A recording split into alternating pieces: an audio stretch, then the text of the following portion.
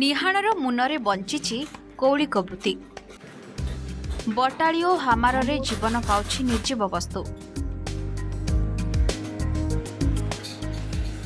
କାଠ ଉପରେ ସୂକ୍ଷ୍ମ କାରୁକାର୍ଯ୍ୟର ଛାପ ଛାଡୁଛନ୍ତି କାରିଗର।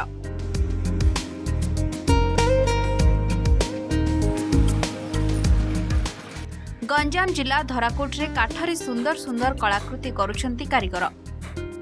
ମହାପ୍ରଭୁ ଜଗନ୍ନାଥଙ୍କଠାରୁ ଆରମ୍ଭ କରି ଦେବାଦେବୀ ଓ ରାଜା ମହାରାଜାଙ୍କ ମୂର୍ତ୍ତି ତିଆରି କରି ବିକ୍ରି କରୁଛନ୍ତି।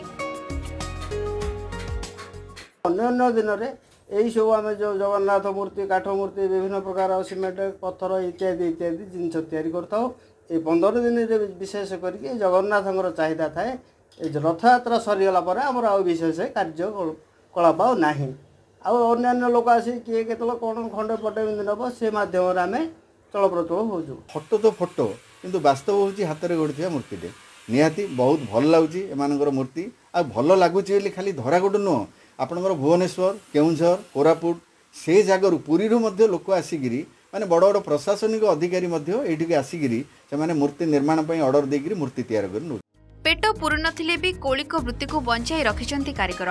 ଆଗକୁ ମହାପ୍ରଭୁଙ୍କ ଘୋଷଯାତ୍ରା ଆସୁଥିବାରୁ ଜଗନ୍ନାଥ ବଳଭଦ୍ର ଓ ସୁଭଦ୍ରାଙ୍କ ସୁନ୍ଦର ସୁନ୍ଦର ମୂର୍ତ୍ତି ତିଆରି କରିବା ସହିତ ରଥଯାତ୍ରାରେ ଭଲ ବ୍ୟବସାୟ ହେବ ବୋଲି ଆଶା ରଖିଛନ୍ତି। ଅନ୍ୟପଟେ ପ୍ରଶାସନ କାଠ କାରିଗରଙ୍କ ହସ୍ତଶିଳ୍ପକୁ ବିକ୍ରି ପାଇଁ ବ୍ୟବସ୍ଥା କରିବାକୁ ଦାବି ହୋଇଛି। ପାରିଶ୍ରମିକ ମୂଲ୍ୟ ଆଉ କିଛି ନାହିଁ। ଗୋଟେ କୌଳିକ ବୃତ୍ତି ତ ଆଉ କ'ଣ ଛାଡ଼ିବା କି? ଗୋଟେ ପାଞ୍ଚ ପଇସା ଆସିବ ଗୋଟେ ପାଞ୍ଚ ପଇସା ଯିବ। ଏଇ ହିସାବରେ ଆମେ କେମିତି ଚଳିବୁ କ'ଣ କରିବୁ ସେଇଟାକୁ ଆମେ ଧାରଣା ନେଇକି ଚାଲିଛୁ। ବର୍ତ୍ତମାନ ଆମର ସୋସାଇଟି ଫୋସାଇଟିରେ ତ କିଛି ନାହିଁ।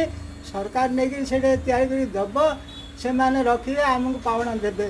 ସେମିତି କିଛି ନାହିଁ ପଇସା ହଟୁନି। ହେଲେ ସନ୍ତୋଷ ଲାଗୁଛି ମନରେ ପେଟରେ ଭୋକ ହେଉଛି ହେଲେ କ'ଣ କରିବୁ? ତେବେ ଦେଖିଲେ ତ ଏହି ଧରାକଡ଼ଗଡ଼ର ପୂର୍ବପୁରୁଷରୁ କଳିକ ବୃତ୍ତିକୁ ବଞ୍ଚାଇ ଆସିଥିବା କାଠଶିଳ୍ପୀମାନଙ୍କର କରୁଣ କାହାଣୀ। ଜିଲ୍ଲା ପ୍ରଶାସନ କିମ୍ବା ରାଜ୍ୟ ସରକାର ସ୍ୱତନ୍ତ୍ର ଧ୍ୟାନ ଦେବା ଜରୁରୀ ହୋଇପଡ଼ୁଛି।